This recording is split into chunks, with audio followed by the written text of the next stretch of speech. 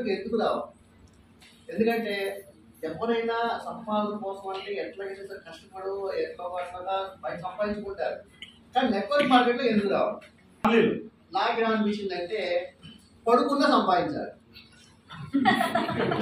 పడుకున్న సంపాదించి ఇంట్లో ఉన్న సంపాదించాలి. ఇంట్లో ఉండి సంపాదించాలి అసలు ఏం మాత్రం కొంచెం కూడా కష్టపడకూడదు.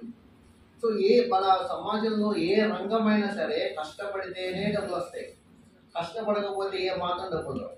కానీ వీటిలో ఏ మాత్రం కష్టపడకపోయినా జీవితాంతం డబ్బులు వస్తాయి. అందరికి మనం అది చెప్తాం అది నేను అసలు నాకు ఉందా దీంట్లో లేదా అనేటువంటి ఓ నాలుగు నెలల క్రితం నాకు వర్ణించింది.